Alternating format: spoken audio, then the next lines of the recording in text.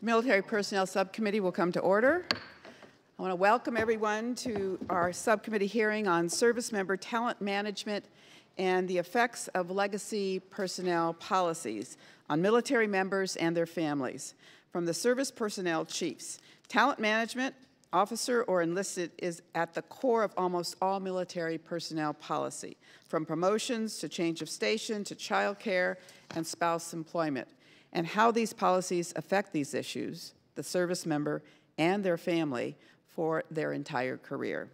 It is the center of everything you do. Today, I want to explore a wide range of policies, especially how your talent management programs have considered not just the service member, but their family, and how career progression decisions are impacted by these policies. Service members and military families have personal needs, and when the military services fail to consider those needs as part of assignments and moves, we pay for it with lower morale, lower retention, and even suicides. It goes without saying that the high costs of recruiting, training, and developing replacements, and some personnel with critical skills, are very hard to replace. Service culture has driven career management for too long to the detriment of talent retention and diversity, whether racial, gender, or geographic in many cases. Congress has given you extensive statutory flexibilities to manage personnel through the NDAA over the last several years. We want to hear what you have done to implement these authorities to change the longstanding service cultural barriers and box checking requirements for career management. We hear a lot of lip service about recruiting the service member but retaining the family. I believe we have and still are leaving the family behind. The total person, who importantly includes the family, needs to be considered in development and execution of all these policies, not as an afterthought. Many policies continue to be industrial age remnants, including moving from place to place at a cost of about $8 billion a year which may be part of the career development or necessary for rotation from overseas, but it is a prime legacy policy that contributes to a military spouse unemployment rate that is 24%, according to the GAO. PCS moves are incredibly disruptive and have received little attention until now. For example, now that remote meetings and learning are commonplace, why are we requiring families to move or separating families for six months or a year for professional military education. Have the services considered changes as it relates to longer times in the same place for those that may benefit from or even prefer some stability for themselves or their families, even if that comes with a perceived career setback? The Marine Corps 2030 Talent Management Plan specifically proposes lengthening the time between moves to reduce disruption for military families.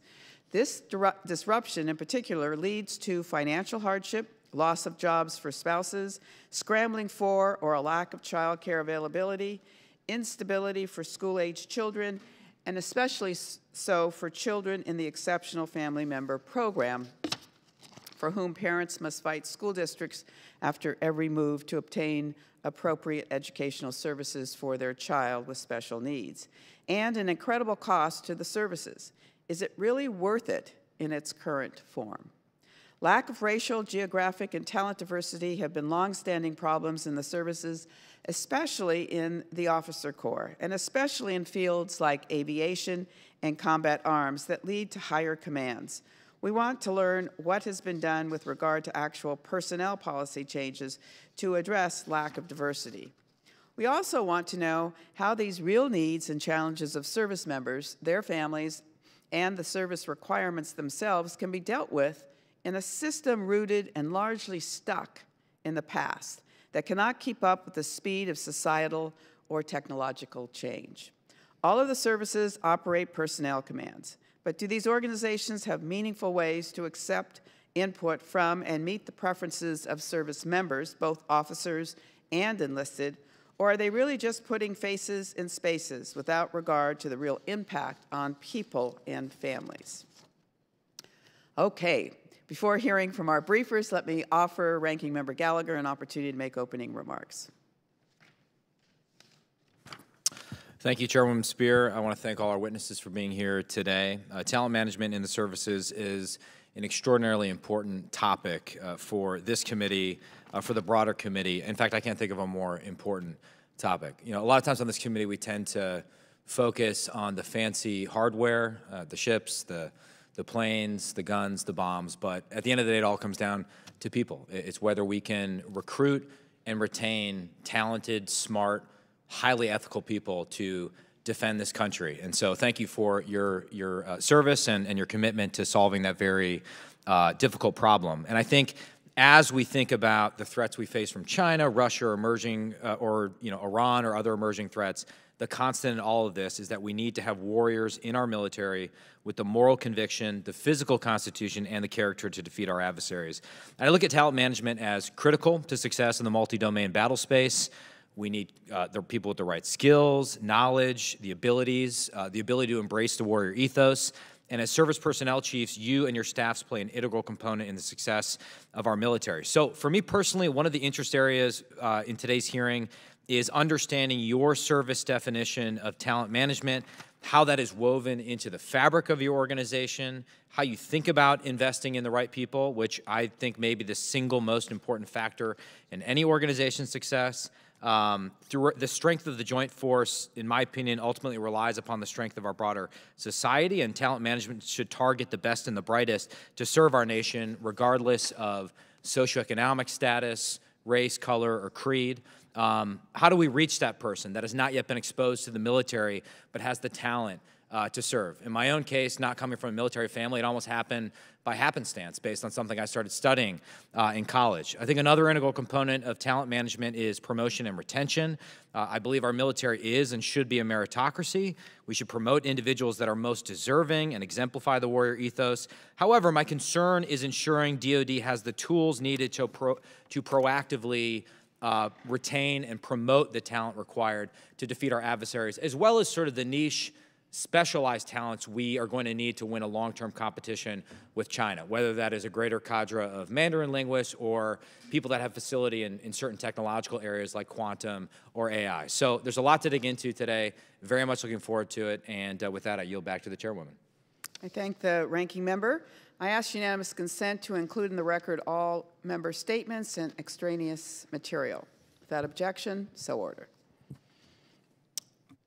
I would now like to welcome our distinguished witnesses, Lieutenant General Gary Brito, Deputy Chief of Staff, G1 for the U.S. Army, Vice Admiral John Nowell, Jr., Chief of Navy Personnel, Lieutenant General Brian Kelly, Deputy Chief of Staff for Manpower, Personnel, and Services, U.S. Air Force, Lieutenant General David Ottignon, Deputy Commandant, Manpower and Reserve Affairs, U.S. Marine Corps and Ms. Patricia Mulcahy, SES, Deputy Chief of Space Operations for Personnel at the U.S. Space Force. Each member will have an opportunity to question the briefers for five minutes following their statements. And with that, let's begin with Lieutenant, General Brito. You may begin.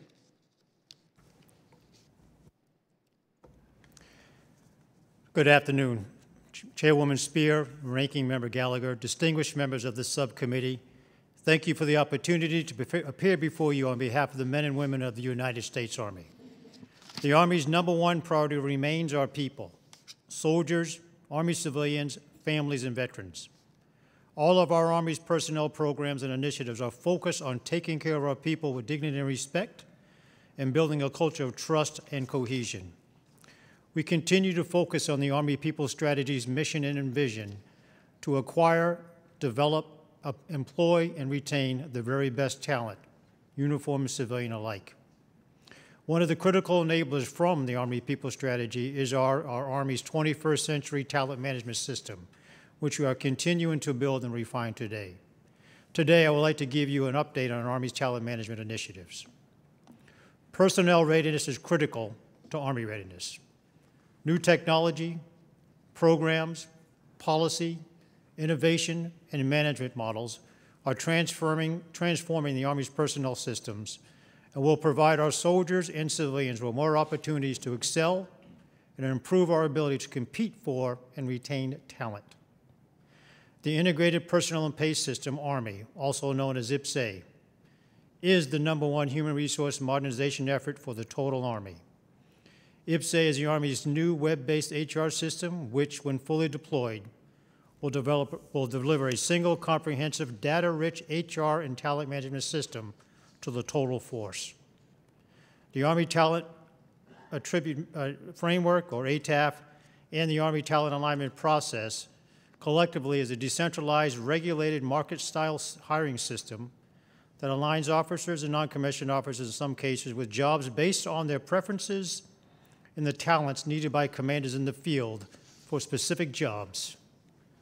This talent marketplace gives leaders more flexibility to build a team of individuals with the needed skills, talent, and experience they need. It also gives individuals more control over their assignments in their career path. A similar process called the Assignment Satisfaction Key Enlisted Model, ASK-EM, and other processes are in place for our senior non-commissioned officers. The Command Assessment Program continues to improve the Army's ability to select leaders at the battalion and brigade levels who are more cognitively capable, better communicators, both oral and written, more physically fit, more self-aware, and less likely to exhibit counterproductive or ineffective leadership traits. Initiatives such as direct commissions, brevet promotion, and the options for individual service members to have more control over when they are considered for promotion continue to help the Army fill critical shortages in technical fields and also gives individuals more flexibility on their career paths. Talent-based branching for Army ROTC and the United States Military Academy combines talent assessments, coaching, resumes, interviews, and selection panels to put these new officers in the right branch at the start of their careers. The Army also continues to build initiatives to acquire and retain civilian talent. The use of direct hiring authority for students and recent graduates allows the Army to expeditionally compete for new talent entering the workforce. And also, the Army has established the Army Career Civilian Management Activity, the first ever organization specifically designated to provide centralized career management services for our treasured Army civilians. Lastly, we recognize that talent management is more than just acquiring, developing, and distribution. We fully recognize the connection to our Army families. The Army will keep a keen eye on the impacts of PCS moves, quality of life efforts, employment opportunities, and more as the Army maintains its combat readiness.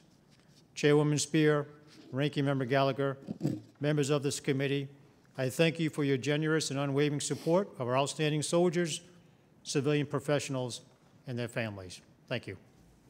Thank you, General. Admiral Nowell.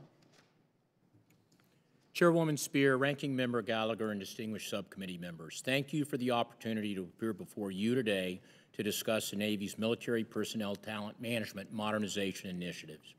The service and sacrifice of our sailors and their families amidst the challenges of a global pandemic has enabled our Navy to project power around the globe and accomplish our worldwide missions. We are leveraging our asymmetric advantage, our people. As part of Sailor 2025, we continue to modernize talent management programs, training systems, and recruiting platforms. We're transforming internal business processes to improve HR service delivery to our sailors, increase agility, accelerate responsiveness, and reduce cost. Thanks to the continued support of Congress in fully funding our MyNavy HR transformation programs, our efforts have allowed us to simplify and streamline personnel and pay services for sailors across the fleet. We continue to leverage our large-scale digital recruiting presence through our Forged by the Sea marketing and advertising strategy, which allows us to reach all zip codes to access previously undiscovered talent. In 2017, 34% of our marketing and advertising was digital. Today, nearly 100%. We realize that PCS moves and job changes continue to factor significantly in sailor and family retention decisions. In response, over the past five years, the Navy has focused on improving geographic stability, and currently more than 75,000 sailors have been at the same duty location for at least three years with over 42,000 of those sailors and their families stable for four or more years. We also announced recently our new detailing marketplace assignment policy, which will provide additional opportunities for improving geographic stability for sailors electing to stay at sea beginning next month. Continuous learning also remains a key warfighting enabler, and Navy is committed to investing in education for our current and future leaders. This past year, the United States Naval Community College successfully completed its first pilot course offerings with nearly 600 students across the sea services completing courses across operationally relevant uh, concentration areas. And we thank Congress for the degree granting authority that was included in FY22 NDAA. Additionally, we continue to develop our talent through Ready Relevant Learning, a career-long learning continuum transforming an industrial age training model into a modern responsive system. Our Navy remains committed to attracting, developing, and inspiring America's finest talent so that we can best protect and defend our American way of life.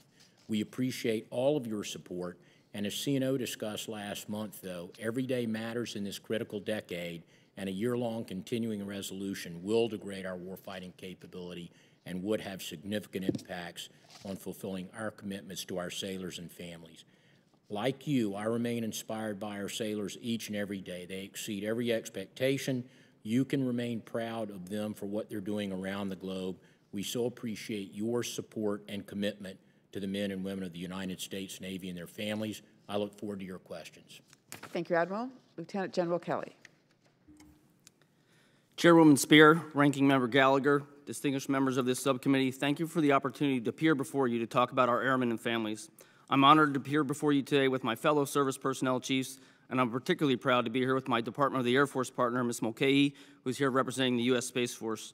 The U.S. Space Force was purposely built as an agile and operationally focused service, with the United States Air Force providing much of the support programs for Guardians and their families. As such, some of the support programs we will discuss today are applicable to both airmen and Guardians.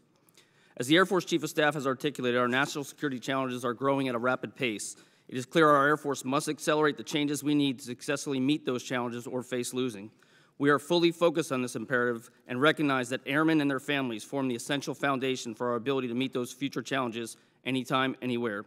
As such, it's essential we accelerate the establishment of the environment, the developmental paths, and the talent management systems needed to unlock our airmen's ability to reach their full potential. We know success squarely depends on our airmen, and on them having the ability to operate in a safe and inclusive environment where they can be the best airmen they can be, possibly be. Your United States Air Force is an all-volunteer force, and in order to maintain and be an employer of choice, it is important that current and prospective members see the Air Force as an agile employer, flexible in meeting the personal needs of its members and families while also meeting our operational requirements. It is critical we challenge existing paradigms and remain open-minded about the way we attract and retain top talent in our military and civilian ranks. We must inject flexibility into career paths and focus on efforts on capitalizing on diversity within the total force while testing unconventional ways to ensure the Air Force is a career choice our airmen are excited to pursue. While the Air Force is an all-volunteer force, we are also a worldwide requirements-based force, and we must meet our commitments to deliver airmen and capabilities to combatant commanders in locations all across the globe. The Air Force is working hard to balance the needs of the service while accommodating service member requests that often include the desire for increased family stability, something we aim to provide when we are able to do so without sacrificing our ability to meet wartime requirements. We recognize military service impacts the whole family, not just the service members, and have adjusted policies to provide longer tour lengths, as well as earlier notifications and simplified processes for permanent change of station moves. Additionally, the Department of the Air Force continues to work with states and military communities as part of our strategic basing process to factor in the community's ability to provide adequate education and to advance the ability for spouses to sustain careers without added expense or delays. This key program signals the seriousness of our commitment to these programs directly to our community partners. Since taking care of airmen and families is a mission imperative for us, I also want to mention the challenges and impacts we face if we continue to operate under or end up in operating under a year-long continuing resolution. A year-long CR essentially equates to a $5.5 billion top-line reduction in buying power. Within our personnel budgets, we are very appreciative of the pay raise for FY22 for both military and civilian members and believe it was absolutely necessary. But covering those bills under a reduced MILPERS top line further erodes our ability to cover other costs. This means the department will have to eliminate incentives and bonuses impacting approximately 11,000 military members, as well as to reduce the number of accessions late in the fiscal year fourth quarter, maybe by up to 21,000 members. Further, the department will have to delay or cancel necessary PCS moves, creating uncertainty for many families, particularly during the summer months when the majority of our moves occur in order to accommodate school schedules. This in turn impacts spousal employment, childcare, and school transition plans both in the U.S. and overseas. A year-long CR also impacts our authorized MILCON efforts, supporting childcare and our ability to execute civilian hiring actions, including hard-fought gains we are making to increase our resiliency and directed prevention workforce programs. As a bottom line, we should all understand that a year-long CR will have a negative impact to our airmen and families. In conclusion, resilient airmen and families are our competitive advantage, and they deserve nothing less than our best. The United States Air Force is committed in our actions to support our airmen and families, and we look forward to continuing to partner with the Congress in our endeavors to do so. I appreciate your continued support of your Air Force, your airmen, both military and civilian, and the families who support them. I thank you, and I look forward to your questions. Thank you, General Kelly. Lieutenant General Aghanan, did I pronounce that right? Okay, thank you. Chairman Speier, Ranking Member Gallagher, and distinguished members of the committee, thank you for the opportunity to appear before you today to discuss your Marines and talent management initiatives of your Marine Corps. I've submitted my written statement, so my remarks will be very brief. We've decisively stepped out on talent management design and modernization efforts General, is your microphone on? Sorry, there you go. My apologies, Chairwoman. We have decisively stepped down on talent management design and modernization efforts to increase the readiness and the lethality of your Marine Corps to fight and win if called upon by our nation. The Commandant published Force Design 2030, and it's all about lethality and warfighting capabilities. Talent Management 2030 supports these efforts. Accomplishing these objectives of force design will not be possible without highly skilled, mature, and mentally tough Marines to execute it.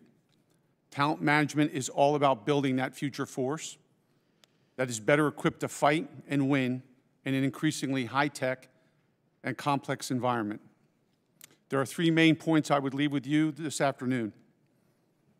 First is that we recognize that we're in a competition for talent, and we are executing our initiatives at speed today.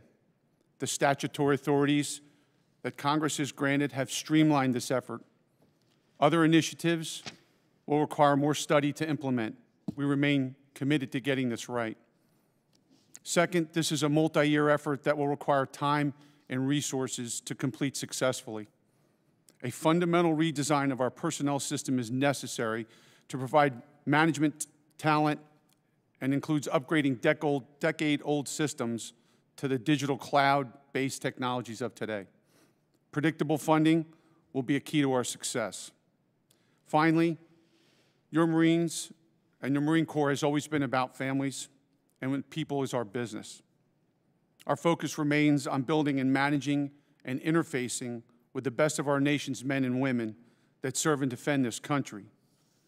And we also want to ensure the readiness of their families. We know that we recruit the Marine, but we retain the family. I'm proud to represent your Marines, their families, and the civilian employees, and look forward to answering your questions. Thank you, General. Ms. Mulcahy. Thank you, Chairwoman Speier, Ranking Member Gallagher, distinguished members of the subcommittee. Thank you for your leadership and support that you have provided to the United States Space Force, our guardians, and their families. It's a privilege to come before you today alongside my military colleagues. And as we purposefully build a force capable of securing the space domain, we developed and released our new human capital vision, the Guardian Ideal, back in September of last year. Our approach is grounded in our values of connection, commitment, competency, and courage, and combines the more traditional recruit and retain objectives with an eye towards connecting with our guardians and their families enabling a digital force while integrating wellness and resiliency.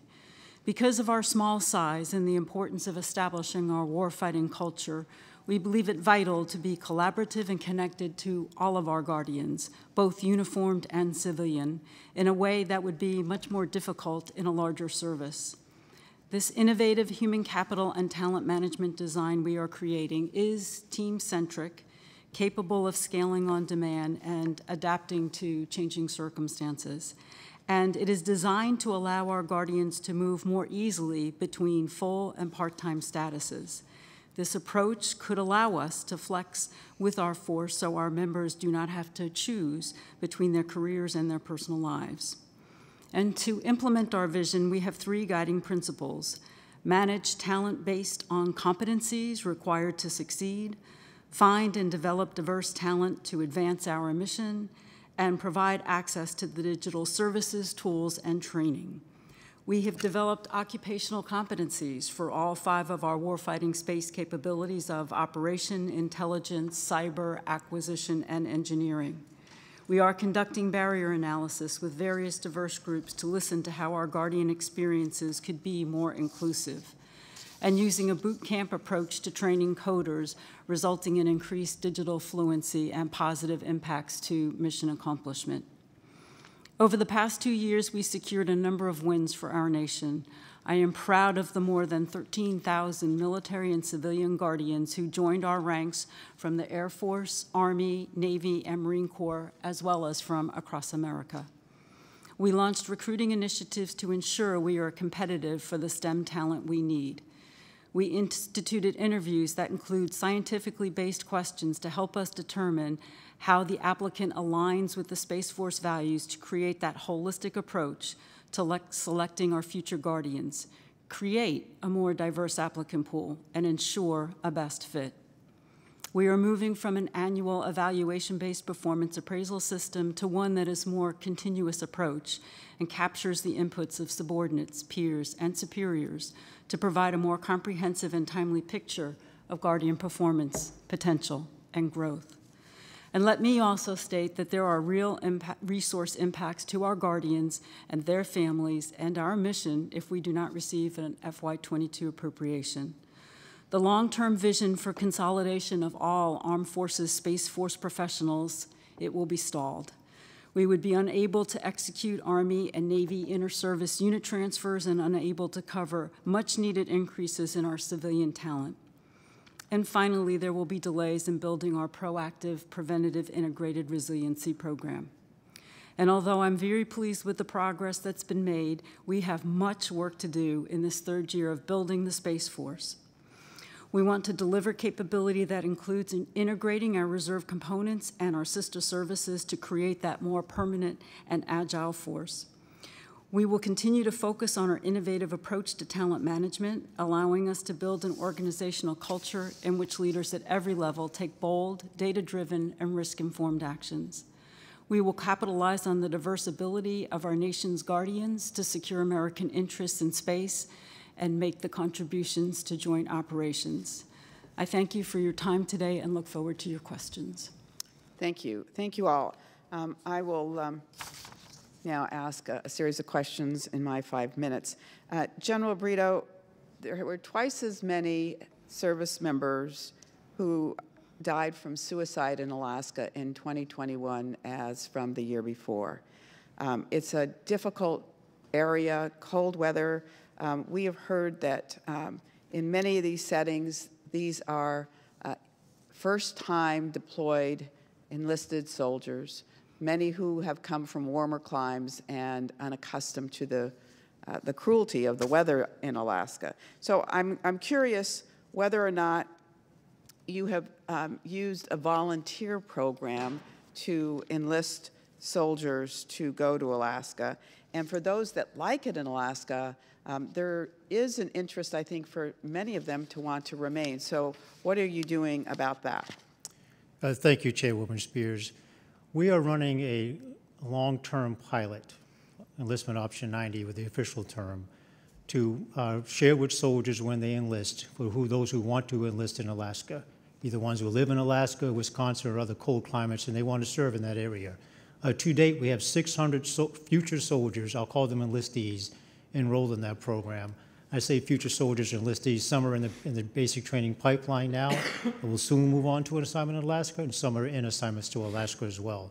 We do hope that will culturally and environmentally uh, uh, further mitigate any environmental concerns uh, that may cause a soldier to die from suicide. Fully, fully share the same concerns with you as well. Additionally, looking at reenlistment options for those who want to stay in Alaska after their first term assignment, second term assignment, or some professional growth as well. And of course, that will be balanced uh, with the needs of the Army and needs of the readiness, professional military education, and of course, career progression growth. I would like to highlight an ongoing visit as we speak in Alaska now, led by our Vice Chief Staff of the Army, our Sergeant Major of the Army, representation from the chaplain, chaplain uh, Surgeon General, and our quality of life staff as well, to look at the entirety of the environment and, and holistically for all that can support Alaska, all the camps, posts, and stations included, and they will come back and share that information with us. And we have later in the spring a precision-focused visit, which I may be on myself, a focus on suicide specifically for Alaska, fully understanding that some of the conditions there are more severe than others. Share your concern, ma'am, and we are getting at it aggressively. The subcommittee will hold a, a town hall later this month with our service members in Alaska, and um, we intend to also send a team up as well. So I, I thank you for that, but I continue to be very concerned about it. In talking to some of the healthcare professionals who work in Alaska, in the Fairbanks area, um, their concern is, is that many of these new enlisted soldiers who are being deployed for the first time either have mental health issues, were seen for mental health issues, or have substance abuse issues that um, probably should have screened them out of going to Alaska. And I hope that you will look at that as well um, in the coming months. We would like a report back on uh, those who are part of this pilot program to see how many do, in the end, uh, go to Alaska and are successful there. Will do. Thank you.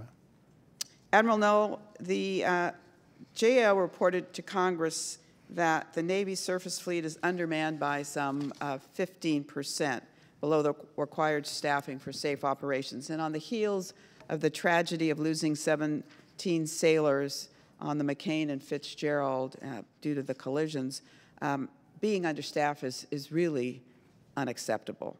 So, what are you doing to deal with that problem? And if you need more resources and tools, will you please tell us what you need? Um, Madam Chairwoman, thank you for that. And, uh, and that was a tragedy that we lost those 17 sailors. That was in 2017, as you mentioned. And so um, to give you some of the, the data, since 2017, um, we've added more than 23.8 thousand billets uh, so that we'll have more sailors at sea. Um, we have increased our accessions in 2018, 2019, 2020 from in the low 30s, if you went back to 2016, 2017, to uh, 39,000 in each of those years. Those sailors are starting to arrive in those, in those billets at sea now. And indeed, we've got 10,000 more sailors at sea now than we had in 2017. Well, are you still 15% below the Manning? We'll, we'll look at the GAO report with you, but we have 145,000 um, sea duty billets. Uh, and right now, um, the report that I got as of the end of last week was about uh, five to 6,000 gaps at sea. Um, so as you look at the billets um, that we have uh, bought at sea, um, that's where that manning is. I, I will share with you, ma'am, so I, am not saying that, that we're happy with that number. We're doing a number of things uh, to get after that. Um, you know, when you look at things like our detailing marketplace assignment policy, which is all about how do we provide incentivization, both monetary and non-monetary, to keep those sailors at sea, primarily uh, in the journeyman uh, level. Um, but uh, but again, we've really been been leaning into this, uh, and we have been helped by very good retention. So right now, um, besides if uh, again the CR would be very uh, injurious as we look at stopping PCS moves as well as freezing the accessions pipeline. But, I, but I've got no other ask right now uh, for Congress. All right, um, we'll come back to that. My time's expired. Ranking mem member. Thank you. Uh, Lieutenant General Ottignon, um, I recently listened to a War on the Rocks interview between Ryan Evans and Commandant Berger. I thought it was a great discussion, um, and I, I really think the Marine Corps deserves credit for trying to grapple honestly with some challenges. And among them, the Commandant talks a little bit about lateral entry. And some of the criticism has been that if you're, if you're bringing someone in as an 05 because they have specialized cyber skills, for example, you know, how are you, how are you being mindful of the organization's culture while doing that? You know, you don't allow people to skip certain rites of passage like boot camp or OCS. So talk a little bit about how you think about lateral entry in your 2030 plan and how you respond to that criticism the Commandant mentioned. Congressman, uh, thank you for that, that question. Um, What I would say about, first about lateral entry is, um, thanks to Congress, we already have the authorities that we need to execute this type of program. Inside Talent Man- Management 2030, we are looking and studying how we would implement such a program with those authorities. So the Commandant has been on the record and said that um, this was an idea and a concept to attract that niche that you spoke of, skill sets that we might consider for the Marine Corps. Nowhere in there did we say that we would skip entry-level training, officers candidate school. I think that's where the misunderstanding of what the Commandant spoke to. But there is a recognition that there are programs uh, that services have utilized. The Marine Corps utilizes it for the law program, for example. Uh, An individual will get credit, but the Congress's uh, authorities to us would be, an example would be, as we study it, could you bring in a man or a woman who has post-baccalaureate degree, service credit would be applied to those degree hours, would go through officers candidate school and the basic school, and then potentially come out at a different grade, and then proceed to that technical skill MOS. I think that's kind of what we're studying at right now. Um, It is an exciting thing to see where we could go to build capacity in certain areas where we think the future fight will take us in those complex environments. Well, one of the other points he brought up in the interview that I thought was interesting is the idea that today's environment is filled with, I'm just going to quote from him so I don't misconstrue the commandant. As a former captain, I, I don't want to get in trouble. Um, you're, you the, today's environment is filled with a different body of people coming into the military with different goals, different priorities, different set of focus. We have to meet them. We have to understand them. Um, could you maybe provide some some color on that? Uh, you know, and, and what is the Marine Corps doing to to meet that that generation where they are? Thank you for that. Um, We've had some good excitement in this area. Uh, One of the things that's pretty common in the civilian sector is crowdsourcing, uh, never done before inside a manpower organization, and we tried it. And it was remarkable, the feedback that we got from our young Marines. Uh, As you would suspect, the majority of them want great training. They want the ability to deploy. They, they're excited about those things. But we learned some other things in here that I think is important as we try to recalibrate Sorry. And balance turn- where we are. Doing a, I'm doing a hearing, uh, a ha- um, Alan, you got a hot mic. virtually. You Need to mute yourself. I think he did. excuse me, sir, so where we would rebalance family and the requirements for the service. Um, We are exercising opt-out authorities. Um, We've just announced it for promotion. We've had opt-out authorities for uh, particular events in your career with no penalty. Um, And then the other one that I think is important that we have looked at is where, since 2019, executing what we would call a change of assignment set of orders, which means you would not leave geographically an area, vice leaving an area. And since 2019, we've had 40,000 Marines that are presently at their duty station in excess of 36 months, which is where we want to be. We think that that is an, an avenue to meet and recalibrate. Those types of things are what we're learning from our Marines. Um, But it is kind of neat to see young men and women who have um, that um, swagger that want to serve and ask about great training and want to deploy. And it's really remarkable, and it's a pleasure to serve. Well, I'm out of time, and I don't want to be accused of service parochialism, so I hope we might get a chance to ask the other services some questions. But I appreciate that. I wonder if sometimes we think that retention is about pay, which is a variable that's important.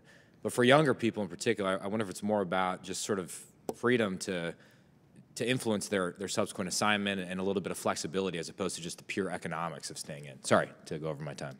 Uh, To your point, uh, I think we found out that with pilots in the Air Force, money wasn't doing it. They wanted to be able to fly, and they wanted a quality of life with their families. And um, we have got to be much more holistic.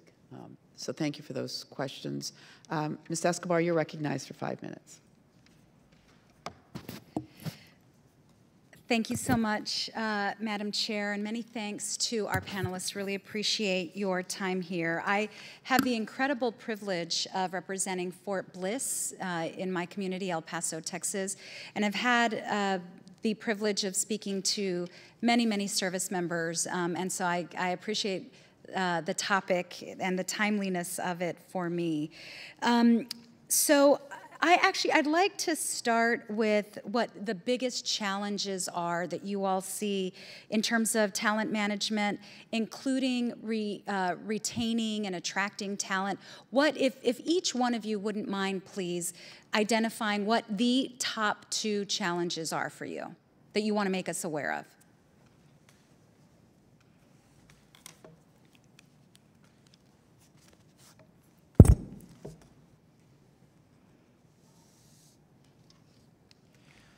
I'm sure similar to my, my fellow service members, we have a very challenging recruiting environment right now, uh, largely due to COVID and some other environmental factors, but very aggressively working through all of that.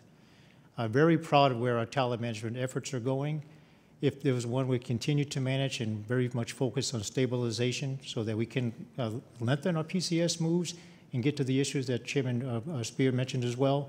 Those two remain challenges, one of which we are very focused on, and ensuring that the same quality of life, opportunity to excel is applied to our civilians and the families that support their loving soldiers. Thank you, sir. Um, Ma'am, thank you for that question. Um, I would agree with uh, General Brito that uh, as we look at the recruiting landscape, uh, we do worry um, for all of those same reasons. And I would just share that I got a recent report that as we look at the eligible population of youth um, that, uh, that are uh, available for us to go after um, for service. In the last uh, two to three years, the number that are propense to serve has gone from 13% to 10%. So at the same time that we and so many others are going after the same talent pool, and certainly we're competing against each other, uh, we also have the number of uh, in the pool uh, that is shrinking. That's probably uh, one of my number one concerns. And then the other is, is that as we look um, at, uh, at, at how we keep some of our communities that are always challenging. Um, think cyber, think nuclear, um, think uh, naval special warfare or aviation. I think making sure that we have the flexibility and the agility, um, as Rep. Gallagher mentioned, with monetary and non monetary incentives, we know that the centennials are really driven by both, as are folks that are our age, and, and can we change quickly enough, uh, to the chairwoman's point too, to make sure that focusing on warfighting readiness, we give them options and flexibility to keep them in the Navy. So in, the, in some of those uh, specific high demand, low density uh, skill sets. Thank you. Thank you. Yeah, ma'am, I won't touch on the recruiting piece, so my colleagues have already, but all of us are obviously concerned about that, so I'll go, go in different directions to help our conversation here. First thing I would say is um, balance of uh, individual desires and needs with balance of our, our force. Um, we're working hard to make accommodations and things for, for instance, uh, we have Sikh airmen now, we have uh, Muslim airmen with different hair, hair policies. We have a women's hair policy that we did to help us uh, attract and retain. Uh, we changed rule sets on putting hands in pockets and silly things like that that could help us start to get to that generation. At the same time, though, we have these requirements around the world that we have to meet, right? So um, not all of our locations are garden spots. Uh, not all of our locations allow you to take a family. So how do you do that and how do you balance it? Right now, we have a tour length of about 51 months on station. That's over four years on station here in the CONUS for our enlisted members, uh, 39 months for our officers. Uh, when you go overseas, about 47 months enlisted, uh, 35 for officers. So balancing that out and being able to do that and give that stability is one of the challenges that we have and that we work hard, hard to sort of balance those things together. General, can I, can I, can I interrupt very Yep, briefly sure. because I've only got about 30 more seconds. Something I do want to throw out for you all, just as you're, you're talking about these other policies, I have a wounded warrior fellow in my district office, a Marine. She would love to reenlist, but she can't because of the tattoo policy. There are things that we really need to look at. And as you mentioned, you know, may sound silly to some folks out there, but what are the obstacles that are keeping out really talented, amazing um, service members, patriots, who want to be a part of the armed services? Chair- Chairwoman, if you would give me that young lady's name, we'll take care of that. The, the Commandant recently waived tattoo policy, so there should be no um, issue with the tattoos. Yeah, I was under the impression that the tattoo policy is history. Is that that- true that's for all of the services? That's correct. And it- there's no restriction at all? It can be up to the neck and up to the arm? That's correct. I, I, it's my understanding that if it goes on to the hand, there's a, So there, there is um, some uniqueness to to the policies, I think, from each of the services. The Marine Corps says that it can't go past the collarbone here and it can't go past the wrist bone. But cl- clearly, um, let, let me see that young lady and we can see what we have there. I, I would offer just very briefly, um, on, worry about accessions, I worry about the headwinds. Um, We have asked, um, and we partnered with the department um, for a legislative proposal that allows us to get into the digital market, much like the private sector for recruiting, to make sure that we have access to the best uh, and the brightest uh, young men and women that, that cho- choose the propensity for service. So I would ask for the support for that proposition. I think the other one I would say, just very briefly, the challenges that I think that I see in my service is um, the modernization of our systems. Um, we really are um, not in the 21st century, and it is a challenge. Um, I see the vision. It's going to require time. It's going to require money. But if you remember the movie Ender's Game, that's how I see it. Uh, Cloud-based systems, um, applications that run on one system that allow us to have full ready access, human interaction and involvement to help manage those opportunities. That's my challenge. I think that's my concern, um, that, that we can't get it fast enough. Thank you. I'm way over time. You are, that Chair. your time has expired. And I know Thank that you. um, Representative Jackson was putting on his jacket. I don't know if he's still within earshot, but he is recognized if he is. Okay. Um, Ms. McCain? Ms. Bice? Thank you, uh, Madam Chairwoman. I, I appreciate the opportunity to, um, to speak to the witnesses today. Thank you for being on. Um, I, I actually want to shift the conversation just slightly to talk a little bit about um, what we're doing to recruit and retain uh, technology talent. You know, one of the things that I keep hearing from the services is what we're doing on the cyber front. And so I want to maybe ask, um, what are you doing to sort of build up a pipeline for um, those critical cyber positions that uh, are currently maybe open or, or unfilled? How are we addressing that? Because it's such an important piece. You know, I think warfare is changing, and one of the uh, important aspects of that is making sure that cyber warfare, it should it become a thing, um, it is being addressed properly. So, can anybody speak to that? Yeah, ma'am, this is Lieutenant General Kelly from the Air Force. I'll start in. I'll, I'll tell you that on uh, the accession front for cyber, we have for the last two years and will continue this coming year over-assessed purposely in the cyber side, uh, trying to make up for the talent pieces that we know we need. So we're about at 110 to 120% of the normal accession requirement. When we get them on board, though, the, the key now is giving them something exciting to do and making sure that we are doing things that are going to keep them.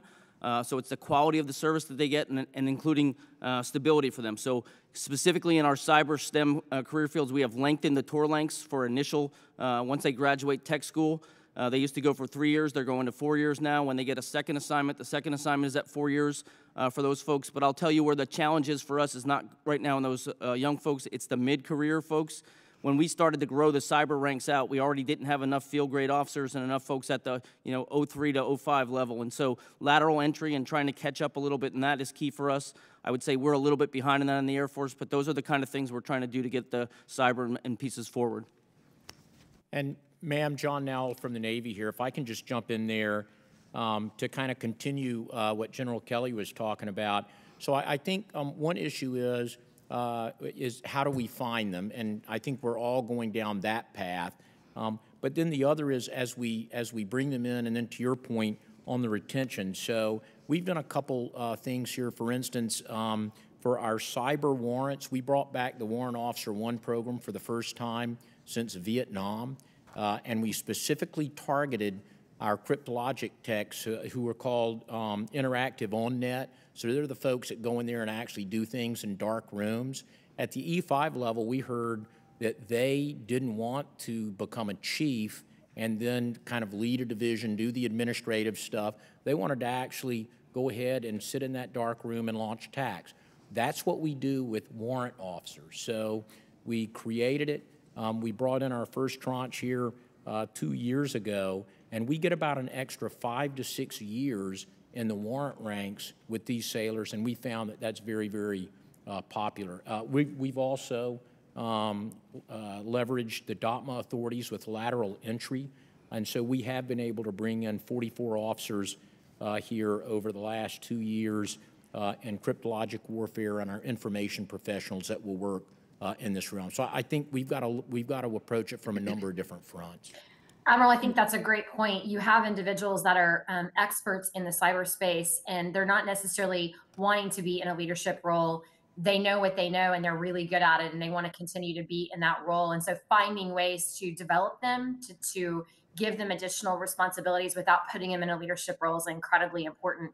And Lieutenant General Kelly, you actually kind of segued into my next um, question, which was uh, I see that you know you are looking to potentially PCS those individuals at a longer time frame. Is anyone else looking at that? Because I do wonder, just sort of generically, not specific to cyber, but do you feel that the uh, two-year rotation for families is becoming real a real burden? And is there a, a thought process or a discussion happening around lengthening that PCS time? Congressman, Lieutenant General Brito from the U.S. Army. In short, yes, for sure. Stabilization is key. And again, we do look at professional military education, professional growth, but also take into factor school stabilization, high school stabilization, which may be key for some families, spousal employment as well, to include some incentive programs that will help a spouse if he or she should be PCSing within the continental United States or overseas. Specifically to, to cyber, as one of my peers mentioned, giving them the job that they want to do to help retain that talent while in, and in some cases, incentive bonuses as well, tied to a stabilization of up to six years in some cases, that will give them one job, job satisfaction and help us compete with a very demanding envi- uh, uh, civilian environment for that talent skill. Yeah, and I think that's one thing that we need to look at. Um, sort of a, an overarching discussion is we're training these individuals. They're working in an incredible environment, but uh, let's be honest, they're probably not making the pay that they could make in the private sector.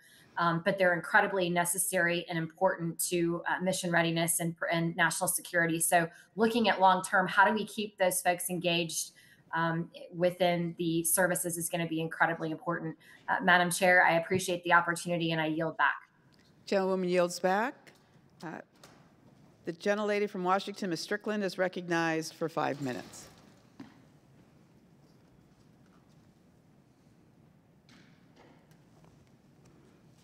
The gentleman from Texas, Mr. Veasey, is recognized for five minutes. Uh, Madam Chair, thank you very much. Uh, I wanted to ask specifically about service academies. Um, in the district that I represent, and this, and I talk with other members that also represent urban areas, and they have a very tough time getting young people to apply uh, to the service academies. Is there anything that you're doing specifically to target talent at uh, in your more urban areas? In the in the you know if in the if you look at the Dallas Fort Worth area, we represent a very large metropolitan area, so we have a lot of members of Congress uh, uh, in our uh, very specific geographic region. And the outer suburbs, the exurbs, they don't have any problems recruiting, but uh, those of us that represent the more urban areas do. Is there anything that you're doing to specifically uh, reach out to some of these kids to make sure that they know about the opportunities that are available in your various services?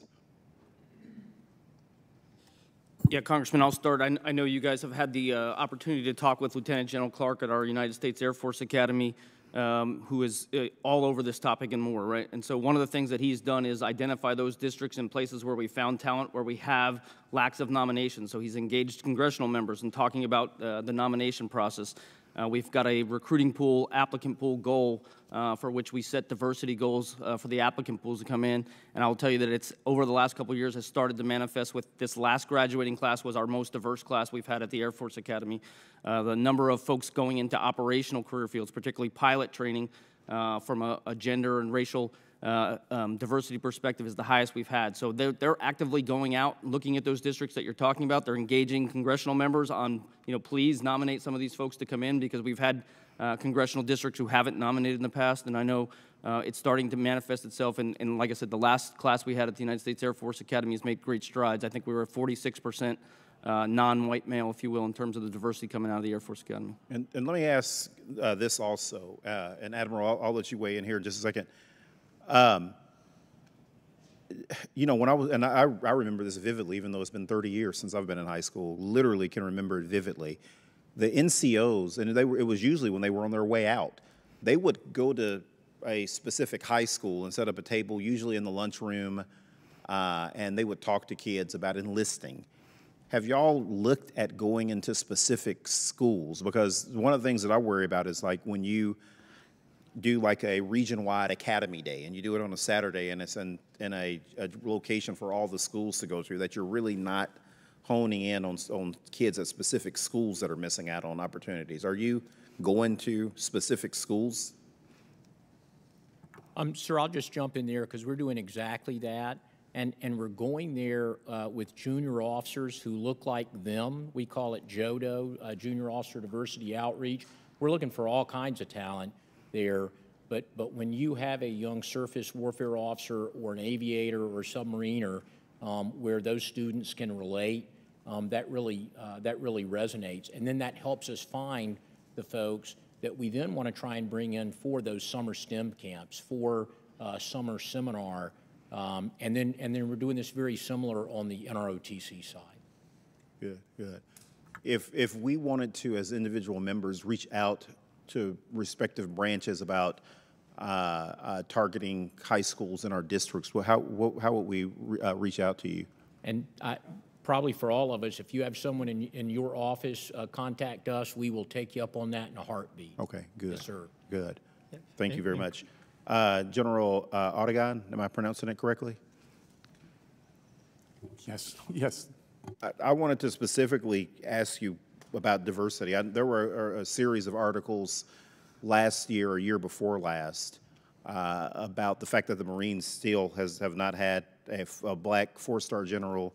I think that y'all were the last to have a, um, uh, a, sarge, a black sergeant major of the of your branch uh, to be the, the head person. Is the Marines looking into diversity uh, in their ranks and and how they can alleviate some of that? Because that is, you know, I mean, you know, we're, we're seeing everything happening right now with, with NFL, for instance.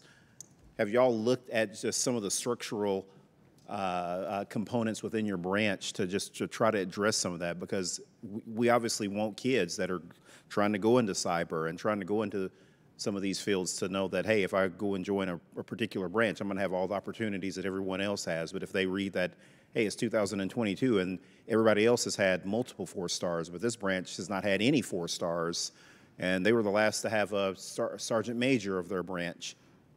Like, how do you work through all of that? What are y'all doing to, to, to try and address that issue? Congressman, uh, th th thank you for that question. Um, First of all, let me say uh, this. Um, we've got a ways to go, but we've made some great progress. And we've been at it for several years. And the statistics that I have um, sometimes fall flat because um, we're not stopping there or we're not trying to pat ourselves on the back. Um, but you refer to officers, and I think that's important because we recognize that. In the last five years, the Marine Corps in its officer accessions has been 35% diverse, and it's been that way for the last five years. Also, I think more telling for me as I look at the playing field, in our one star ranks, 24% of our brigadier generals have diversity. The, that's compared to the overall population of 14%.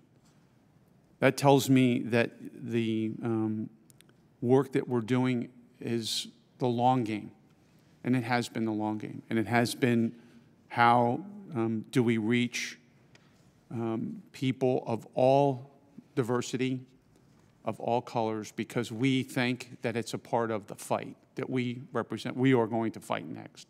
So to me, um, we've been focusing on this for several years because we recognize all the way back through to General Neller, to General Amos for that matter, um, that this was going to be necessary. So we have work to do um, on particularly the officers' side of the House uh, to get to where we have a sufficient pool of senior officers where, through a competitive process, fully most qualified will make the executive ranks the general officer ranks. But I think it's important that we recognize we, we have had um, an African American sergeant major of the Marine Corps. 43% um, of the Marine Corps is considered diverse, of diversity. So there are a lot of good things happening here in the Marine Corps. Close to 10% uh, identifies women for gender. Um, officer uh, accessions uh, for females is at 13%. So there's a lot of things happening here. Um, but I acknowledge that we have work to do in that space. Thank, Thank you. you. Madam Chair. Thank you. Gentleman's time has expired. 10% um, is not very good when the rest of the military is at 18% or 20. Um, we now will um, cede the floor to the gentleman from Texas, Mr. Jackson, for five minutes. Thank you, Chairwoman Speier and Ranking Member Gallagher, for holding the hearing today. Also want to thank our witnesses for being here. Appreciate your time. Uh, understanding issues related to recruitment and retention is important as decisions are made in Congress regard, regarding funding levels, of course. Uh, now more than ever, we need to focus on maintaining a military that's prepared to fight and win in a conflict against a highly advanced adversary, adversary such as China. The 2018 National Defense Strategy laid out a strategic approach to addressing military challenges.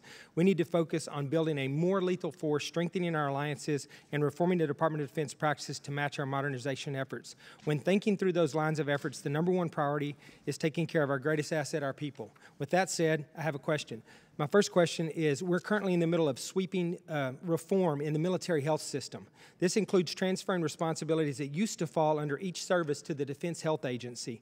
Over the past year, I have prioritized going to some of our major medical facilities around the country to hear directly from our medical personnel. Regardless of branch or rank, one common theme that I keep hearing is that nobody has a clear explanation to, for me, to me on how these reforms are, are going and, and what it's meant for, the, for their future and for the future of military medicine. I think that that could potentially be a problem. I think it's starting to be a little bit of a problem with morale, uh, and I just wanted to address that. Uh, if we lose uh, medical personnel and jeopardize our medical readiness, we will not be able to recover quickly. That's not something we're going to be able to stand up very quickly. And we could face se severe casualties in a future conflict. Those casualties could be avoided if we focus on retaining these service members and maintaining adequate medical readiness. Uh, General Brito, could you speak specifically to the Army's efforts to retain medical personnel as we undergo comprehensive reform within the military health system and what policy changes you will need from us to ensure that we retain these highly skilled members and don't lose them to the civilian sector? Uh, thank you, Representative Jackson. Under the umbrella of leadership development, we must continue to, one, recruit the best, retain the best, and give them the best leadership and medical training so they can provide the best services to our soldiers and our families. That is including a very aggressive retention effort as well, largely led under the umbrella of our Surgeon General and other medical professionals, fully respecting the complexities that may come uh, as, as services get rolled into the DHA. Uh, for one, job satisfaction, continued uh, medical training which they need, to, which, which, which they need, and continued training to keep them advanced in the skills that they need to provide uh, whatever specialty they're working in. Also, we, we are leveraging the authorities that have been provided to us uh, through direct hiring authorities and direct commissioning. We do have some specialized talent that wants to serve in the Army and can serve in the Army to bring them, bring them in and continue to provide the service that we need to, this, to our soldiers, both in garrison and, as you mentioned, more important, as important, while deployed as well. Well, thank you, sir. I appreciate that. And I'll just let all of you know that I'm, I'm, I'm I'm invested in making sure that this goes well. I know it's a, it's a work in progress right now, but as the uh, as a former military member, 25 years on active duty and in the medical corps, uh, I, I, and on this subcommittee, I want to make sure that I'm an active part of making sure that we're doing everything we can to make this successful because I know it's an important transition for our folks. Thank you, Congressman. Yes, sir. Um, I have one more question. Having spent 25 years on active duty as a Navy emergency medicine physician, I still have close relationships with many on active duty. I have some concerns about some current plans that I've recently heard about. I hope to find out what's driving these plans so that I, so that I and my HASC colleagues can hopefully address any problems in next year's NDAA. I believe and I know that each of you will agree with me that our medical readiness should not be an afterthought. Vice Admiral Nowell, I would like to ask you to respond to this question first. I don't think we'll have time for the other services to respond, so I'd like to just ask if you could get me the information from your services to my office in the next few weeks. I'd appreciate that. But um, the Navy provided information to my officer that uh, right now, currently, uh, about 6.5% of the officer end strength in the Navy is made up of the medical corps. Uh, yet only 4.5% of the Navy's authorized flag billets are medical personnel. There's probably around 10% of the military of the Navy that's ma- uh, the uh, officer end strength uh, that's made up of medical personnel in general, and well, I think it's the 4.5% is is how much uh, of the overall Navy medical side, not just the medical corps, includes the flag billets, but 1.9% from the medical corps my point is that these, these numbers are a little bit off. It seems to me that there's a discrepancy here. This discrepancy concerns me because I don't think it's an adequate representation of senior leaders in the Navy advocating for the needs of military personnel and for the care that our active duty uh, uh, operational troops are, are going to be provided by these folks.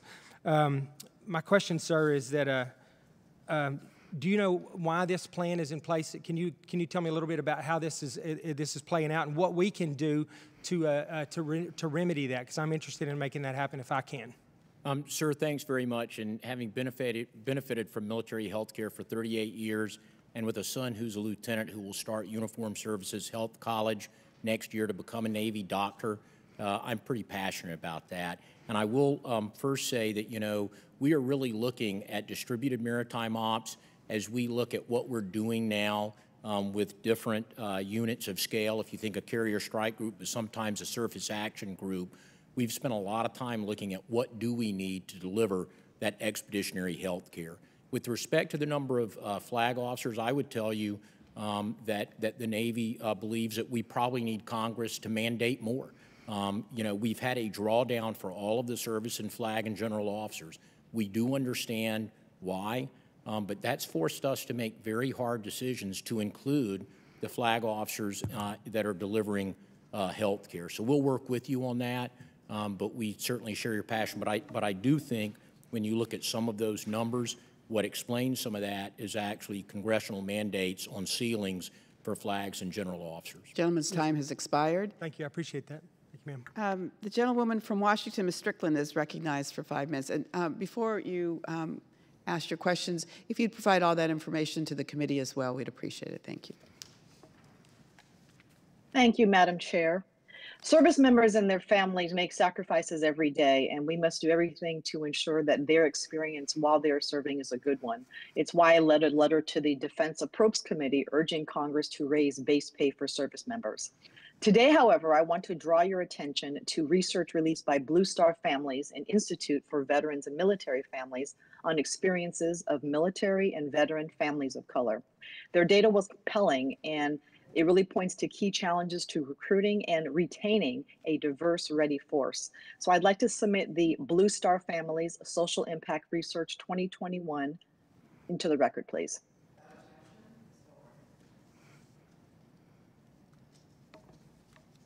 All right, by 2027, most recruitable US adults will be people of color. And we know that a person's familiarity with the military, not necessarily race or socioeconomic status, is often the best predictor of joining the armed forces.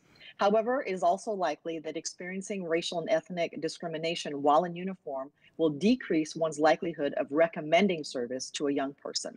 So, to all the witnesses, very briefly, can you please talk about how you're ensuring that your respective services are an attractive place to serve, especially for communities of color, both to recruit people and to retain them? And I'll open up the floor to anyone who'd like to answer the question. Why don't we ask Ms. Mulcahy to go first?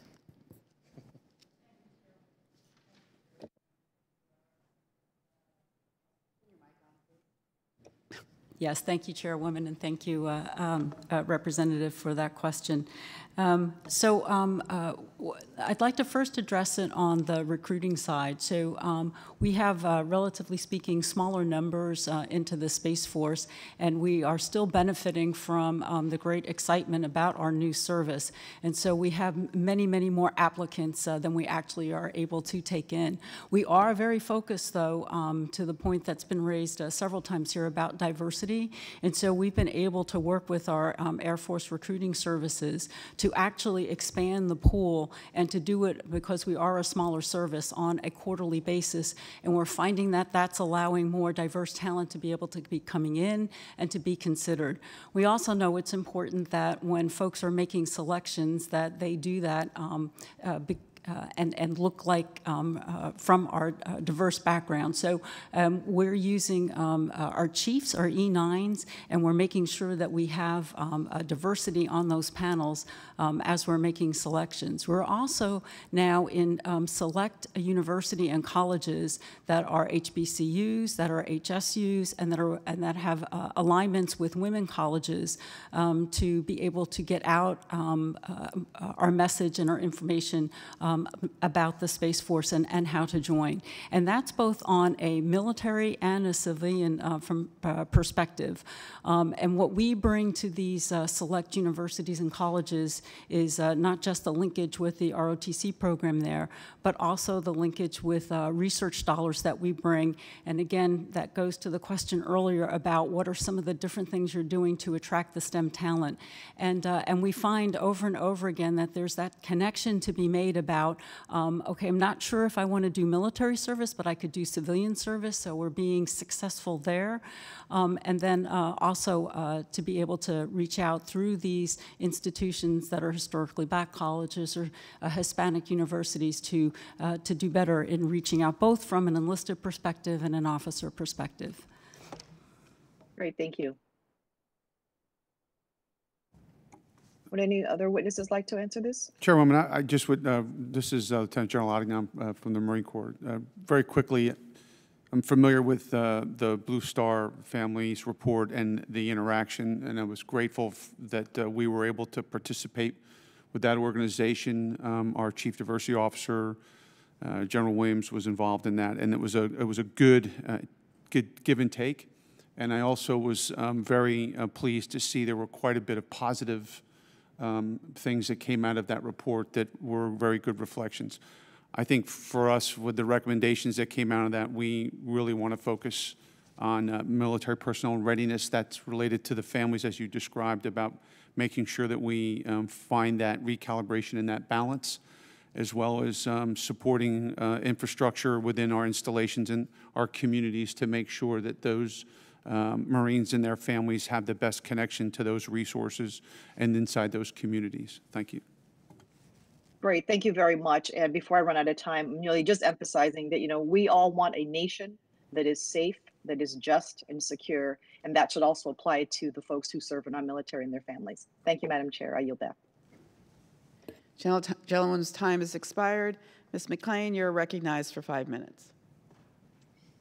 Thank you, Madam Chairwoman. Um, I want to thank y'all for being here today. With the growing threats around the world, it is paramount that we maintain significant force strength for years to come.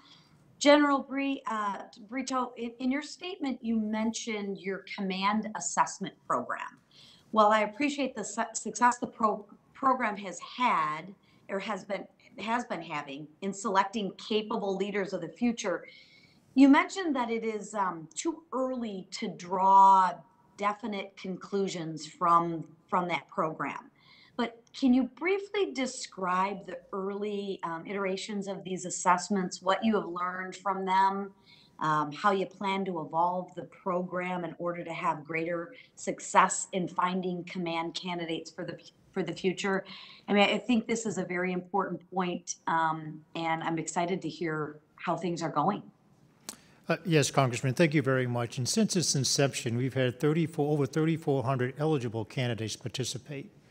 If I may use the last cap, cap 23 for fiscal year 23, which we executed back this last fall, had over 1,600 candidates participate for 733 uh, command level billets.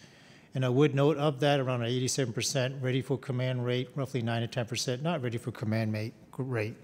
And I would like to mention the, the, the components of the CAP assessment, which will kind of talk to your question, uh, both a cognitive and non-cognitive assessment, a psychological interview, in our case, of Army physical fitness test, peer and subordinate feedback, verbal and written co communications assessment, and a blind panel interview, which serves as a, a key indicator uh, to, to select the, but, the best talented leader to take command and stand in front of soldiers, whether it's 5,000 or 15,000.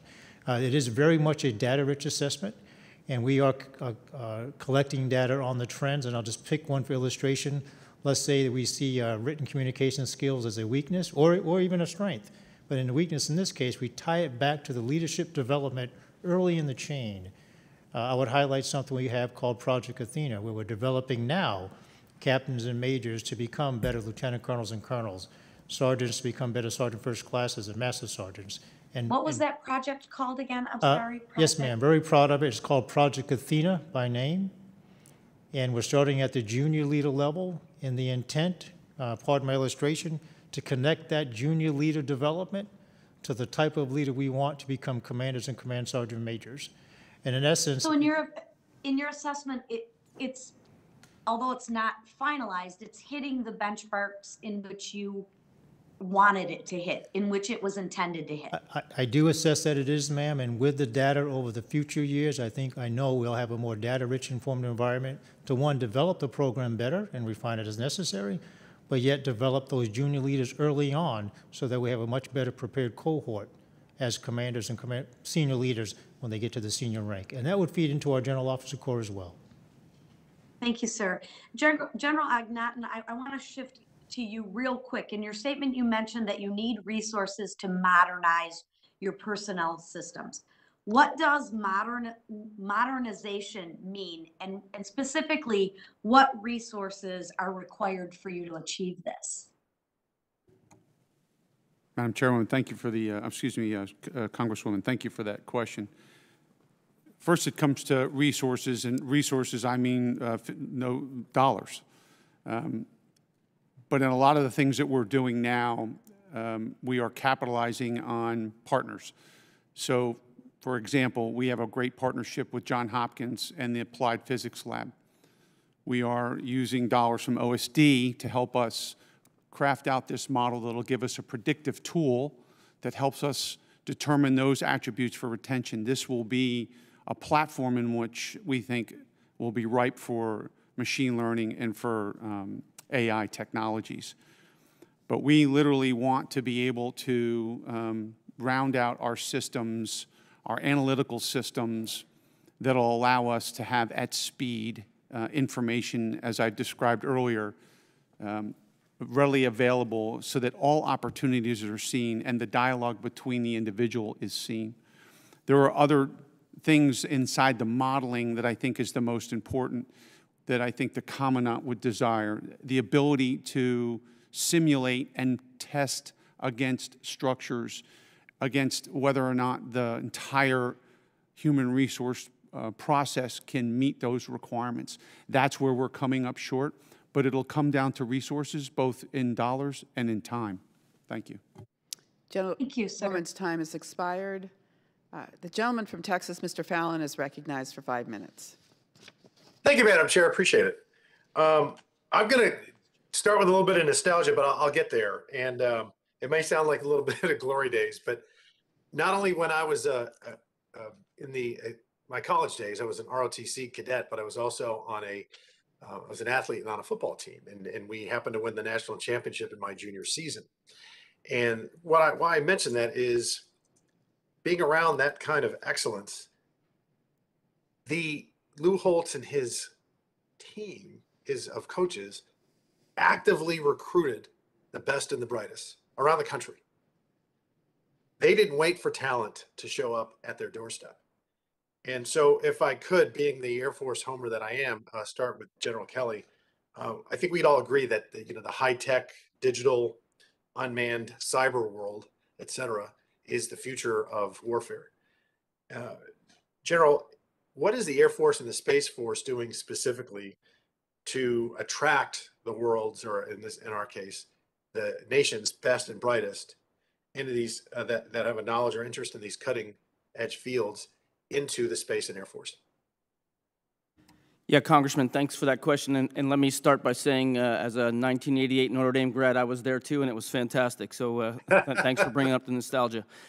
Um, you know, so I think the, the key for us is um, we want to attract these people by telling them what they can do and showing them what they can do. As we talked about before, money is a little bit of, of what's out there, but what it's really about, what we see it being about is um, the opportunity to work on something really great with really great people and, and, and have this quality of service. So, for instance, in the cyber world, you know, we've got to talk to them and we got to show them the things that they can do. You know, the things that they can do um, that on the outside would maybe get them locked up um, that they can do for us legally and, and be really exciting and do some great things. And we've got to let them do those things.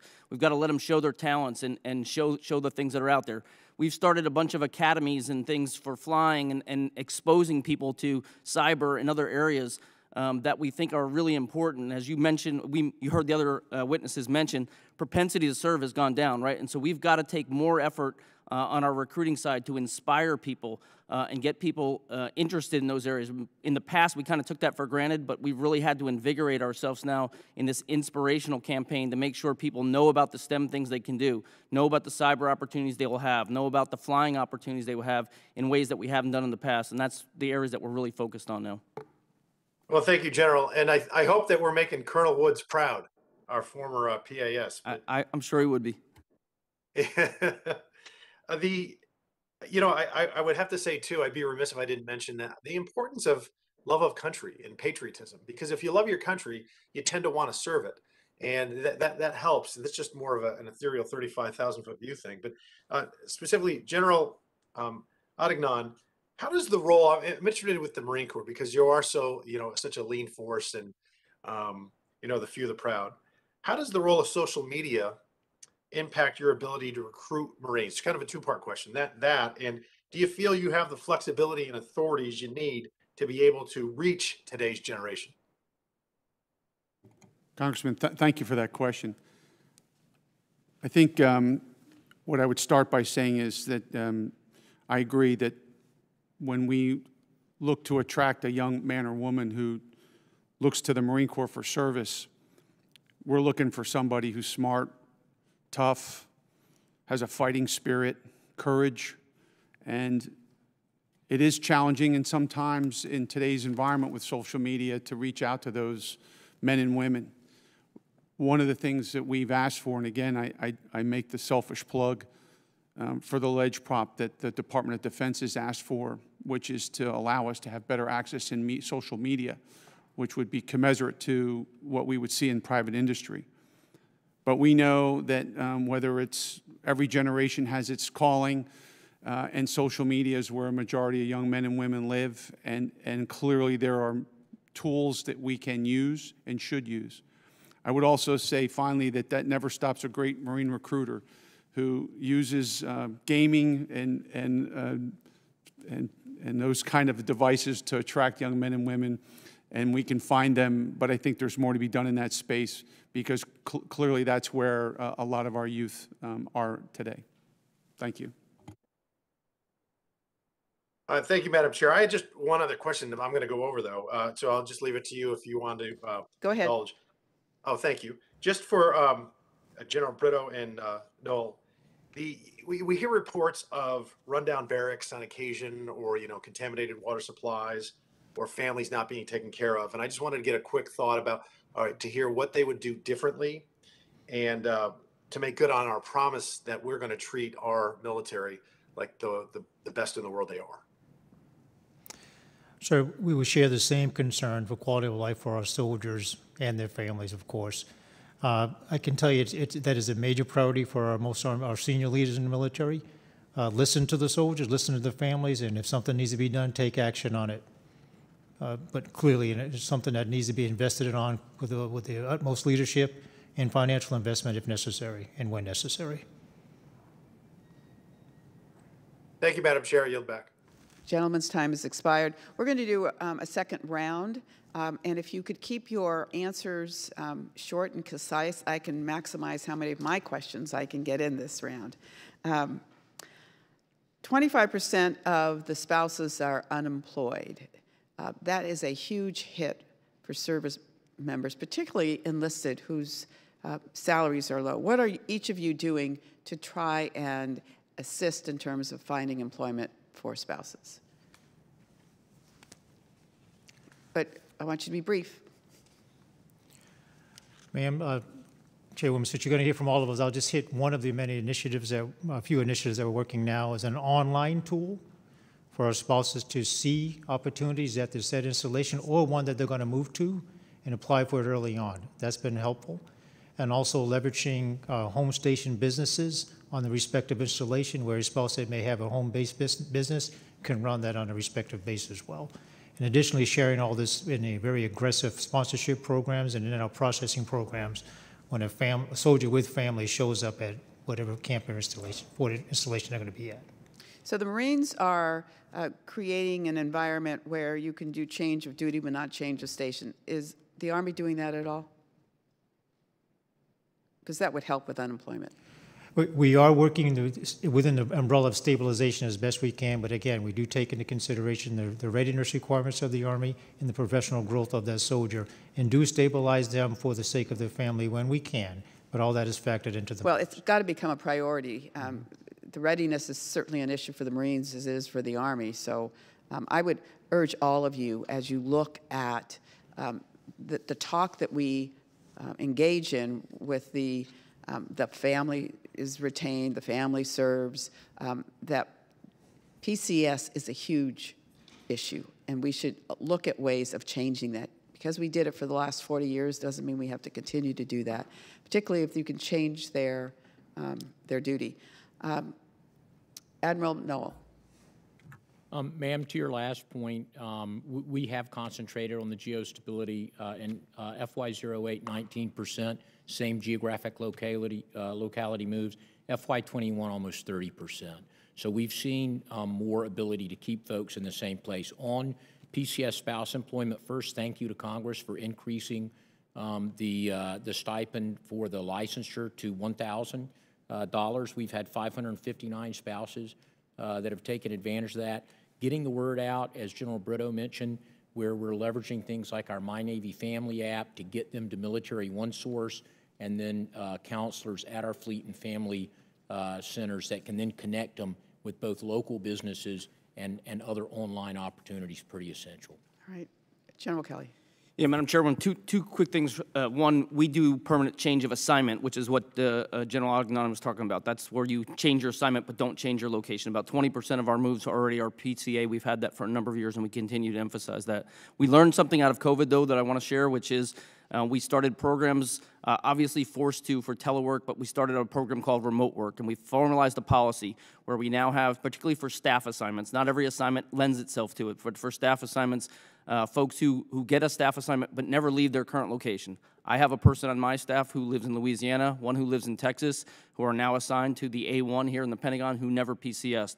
Uh, they remote work from down there. Uh, they do their things every once in a while. They come TDY to the Pentagon, but they didn't never moved. We saved PCS dollars, and they live in the same Great. location where they were. Thank you. Madam Chairman, the only one uh, I would add uh, to my, from my colleagues, and I, I do agree, that licensure um, fees were, were very popular. The other one I think that I know you are very passionate about it is childcare. I think that's something else that is um, something we want to pay attention to. And as I've mentioned before, we've seen some great success with our off-base fee assistance and uh, where we take um, what the rate would be for the installation and capped at $1,500 that if they cannot get onto the base, that there's an ability to provide childcare off base. So I think those are some important things that I know we, we want to work very hard at because I think that also lends itself to employment from our spouses.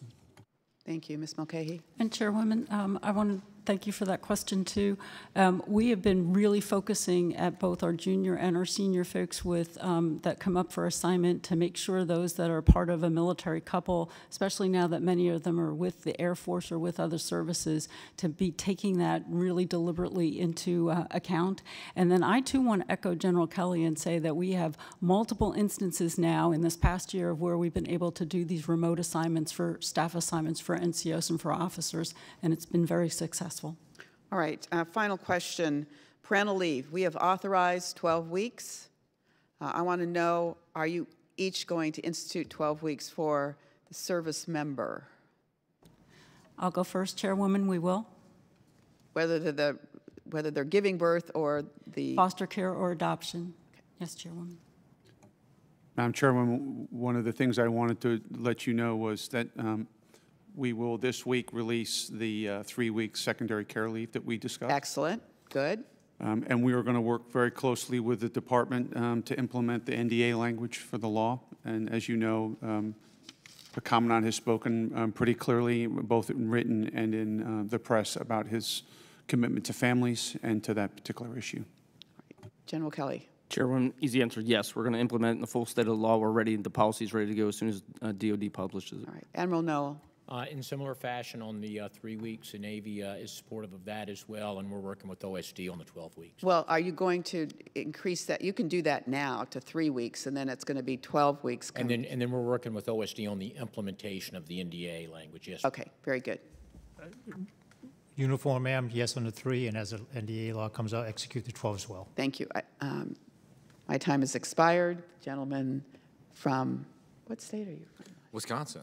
The gentleman from Wisconsin is recognized for Right, five like minutes. Alaska, Wisconsin, cold states. Uh, I, from, I come from a family of domers, so it's disgusting to hear all this Notre Dame love going on. Um, Vice Admiral Nowell, I, I genuinely appreciate you responding to my letter. Uh, a lot of times we send these letters and we don't get a response. We may have a disagreement on the issue, but my concern at the time, uh, in response to your comments that we need to use photos to enforce diversity for general officer, flag officer selection boards, was that we're going to start explicitly judging people by the color of their skin, and that might sort of paradoxically stoke racial tension as opposed to alleviate it, as well as undermine sort of the concept of a colorblind meritocracy, which my view is essential to the military. Your response was, well, I'll let you respond and characterize your response as opposed to mischaracterizing it myself. Um, Sir, thanks for that. Um, those comments at Sea Air Space, um, and, uh, and, and I, I think what I would uh, zero in on is that when we talk about diversity, we always talk about not only diversity of race, gender, and ethnicity, but of thought of where you're from, Wisconsin, for instance, uh, or uh, how you attack problems. And we value all of that. So for us, it's all about warfighting readiness. So, so that's, that's really the point that we want to make. And to your point, um, we don't ever want um, in the Navy, or I think any of the services, uh, to not give both the reality uh, as well as the appearance of being a meritocracy. So we do think that that is uh, very important.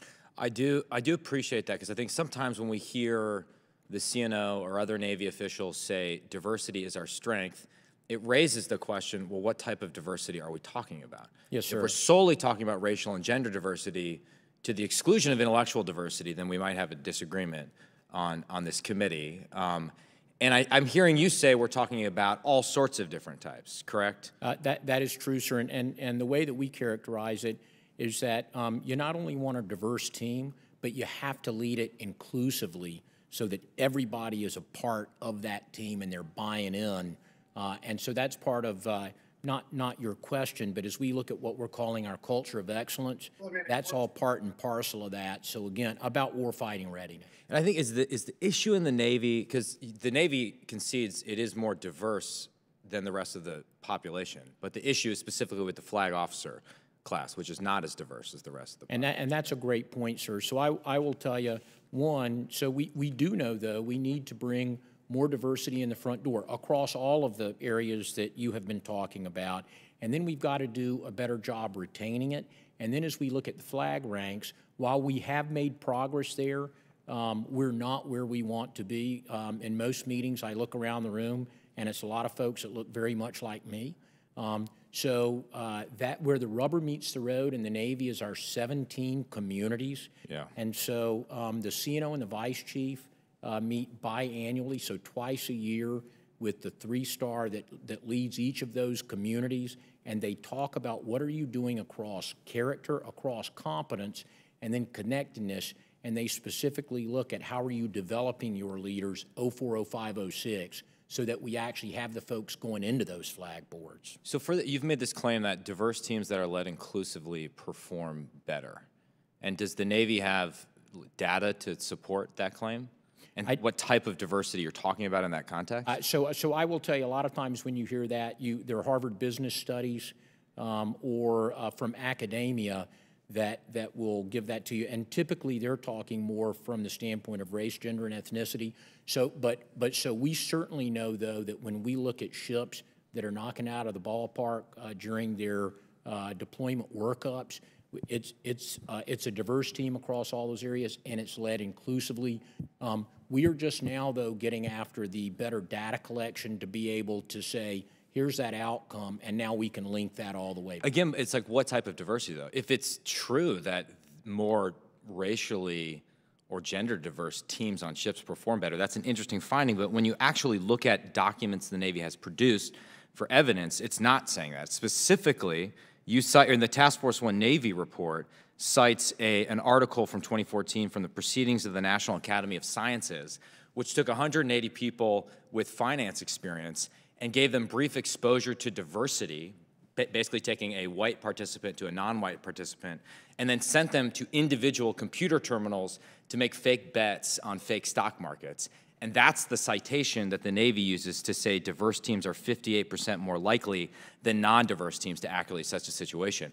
I think that I actually think it undermines the case because it's such a poorly designed study that's not applicable to the world of finance, let alone to the specific business of asking young men and women to kill and be killed for their country. The other study you said the Navy cites is this 2015 McKinsey study called Diversity Matters. It omits half the data set, and it also has this complicated formula for quantifying sort of the diversity of a board that makes no sense if you dig into it. So I just bring, I've run out of time. I know this is a fraught topic. I actually think if we had better social science, we'd better answer this question. In the, the report that was just mentioned, that we read into the record, if you look at the methods, I just got this, so I, forgive me. It, it admits it's not a statistically representative sample. So what are we supposed to do with it if we can't, if we can't even understand the problem? I, I don't know how we can devise a solution. So I've gone over my time. I'm sorry, Madam Chairwoman. You can take it from future time. Gentleman's time has expired. The gentleman from Texas, Mr. Jackson, is recognized for five minutes.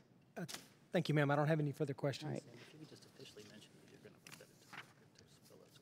All right. Um, Mr. Fallon, you are recognized for another five minutes if you would like. I think he's not listening. All right. Um, so, um, Social media. I want to thank you all for um, participating today.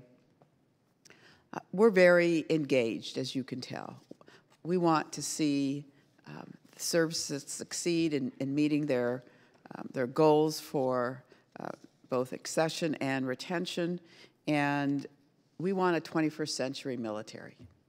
I mean, it is different, and we've got to um, change our ways so that we can retain the talent um, that we develop. So um, many of these questions um, fall into that category.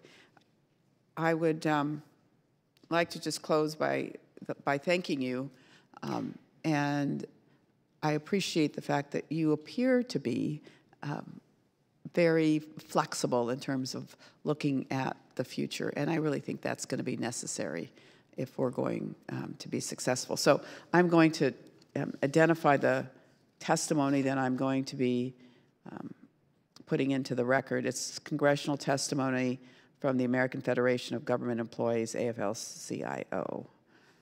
And without objection, that will be um, admitted into the record, and we stand adjourned.